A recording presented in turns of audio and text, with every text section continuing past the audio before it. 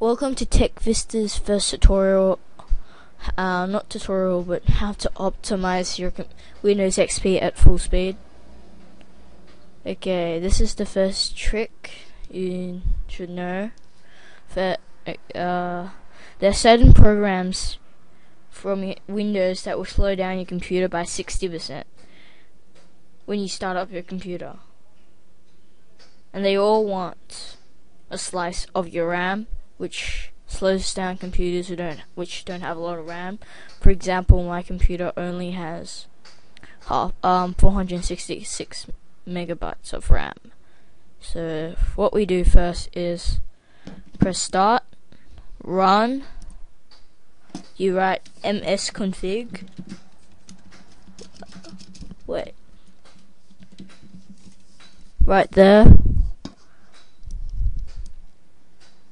Press OK.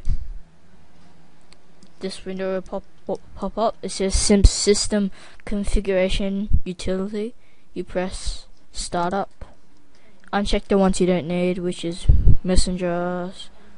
Don't need some of the. Uh, I don't need Soundman. Don't need Java. And you don't really need Adobe Speed Launch. So you press OK. So it'll tell you to restart uh, if you restart, everything will be changed. This will improve your startup speed, but I don't really need to. You do it until you restart. Next time you open your computer, it'll be a lot faster. And thank you, guys.